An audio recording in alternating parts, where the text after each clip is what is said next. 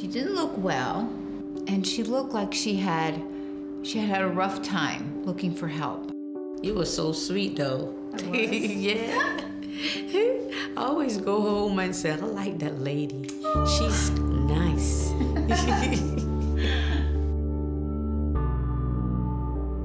when I do the ultrasound, they say, oh, I see something cancerous. I say, they trying to make me scared or whatever. So the surgery come up and they take all the holder down here and they said it spread to my my uterus to my lungs. And I look at my daughter pictures, cause my daughter pictures on my phone screen. And I said, no, I can't leave my daughter. And the doctor was right there. I says, I can't leave my daughter. I can't leave my daughter. She developed uh, rheumatoid arthritis, and it was really bad before she was diagnosed. So she had to go on a lot of prednisone and inflammatories. Her hands were, I remember that. Yeah. Her hands were huge. And her yeah. feet, she couldn't fit shoes in her feet. Yeah. You remember that? I remember her coming in once and I said, Where's the baby? And she said, I had to have it. I have family taking care of her now because I can barely take care of myself. And that being a mom, I knew how hard that had to be, and it just broke my heart. And I said, Rose is so much stronger than I even thought she was. And I knew she was strong, but she was even stronger than I thought. This is the person I need by my side because she's one of my help, you know, and now really it's God send this angel for me. Yeah. Yes, it's God send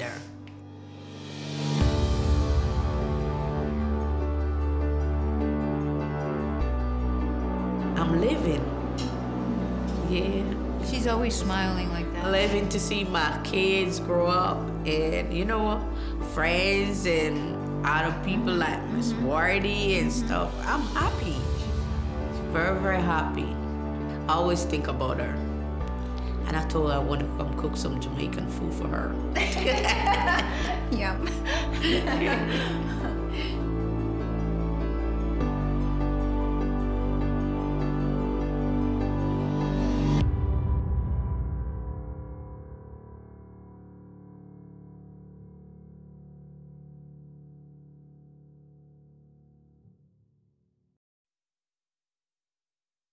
Did you turn your phone off? Yeah. Okay, good. Yeah.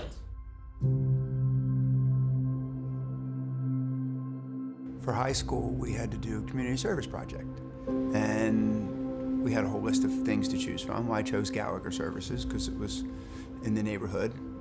And I got to meet Sean and we'd get to work with him. So once a week I'd come up and Father Ray would have different activities for us to do. Years down the road, through my work at F&M Contractors, we were a contractor for Gallagher Services, and we worked up at the, the facility where Sean was. And I was like, Sean Ball? And he's like, yeah. I'm like, do you remember me? And he was like, yeah. And he shook his head, yes. Um, I found out that every Saturday they went bowling.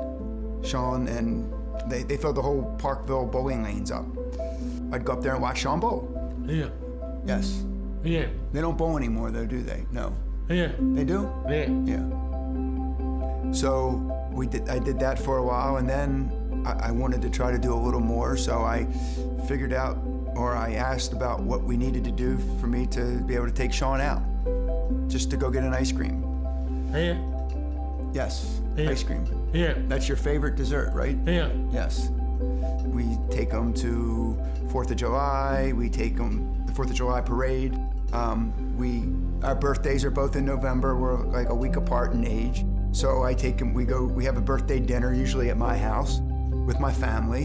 And then Sean would come in with a, with a job coach one day a week and clean the office. We like having him around. The guys, when they see him, they all treat him like he's one of them. He treats them like that. And with my kids today, they're, they're older. They're 17, 20, and 23 so they kind of have their own lives. But it's not hard to say, hey, we're going with we're going to get ice cream with Sean Ball. You want to go? And they're like, yeah. You know, I mean, Sean is a great person. I, I would trust him with any one of my kids. I would trust him. You know, I mean, he's a great guy. He's he brings a lot of joy and happiness to us. He, he makes us laugh a lot, too. if you don't keep an eye on him, he'll bowl four balls in duck pin bowling. Right? Yeah. Yeah, you know that. Yes. Yeah. Yes.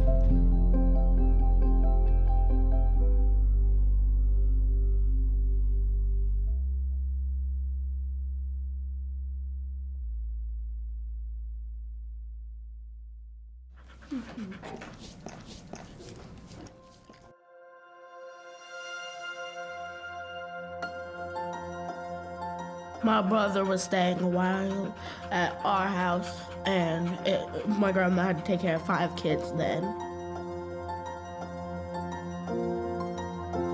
I was being unsafe towards my brother, um, threatening to punch them in the face. I, pu- I broke my, one of my brother's nose. Um, uh, I threatened to kill myself. I kept on trying to get string and trying to choke myself.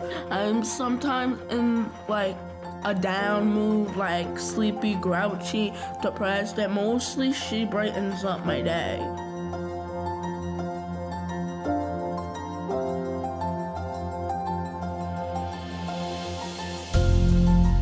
Since Carmen's been with me mostly, I've improved a little more.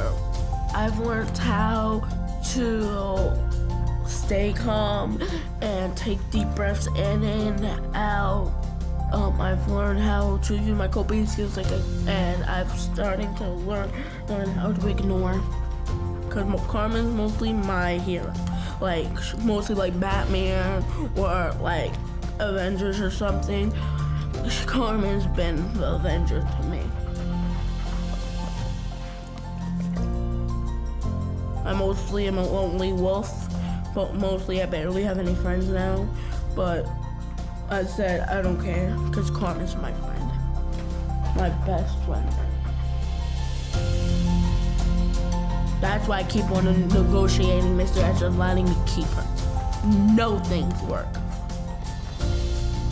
I've tried with money, with liquor, chocolate, everything. Oh no, not again.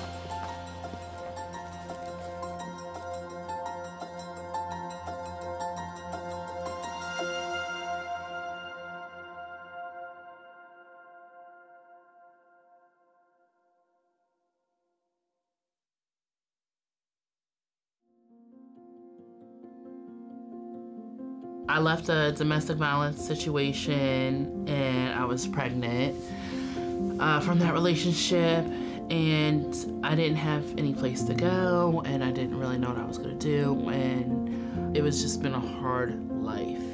And I just said to myself, it's time to just start going right. It's, it's, it's time to start making these, these decisions to better my life. It was just an automatic, it just happened very quickly. But out of all the staff, I just happened to be the one that she felt that she could really connect with. And And Anna's house provided me structure that I really didn't have before. And they offered um, life skill classes, which related to, um, you know, like parenting and things like that. Tiffany's good about setting goals. I mean, it's easy to sit down and put on paper that this is my goal, I'm going to do this and that. But Tiffany actually follows through. She's very caring and understanding, and she's always made me feel comfortable to talk to her about anything.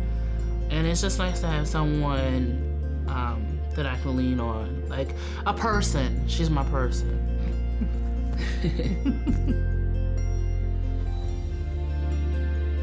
We say love a lot around here. This Anna's house is full of love.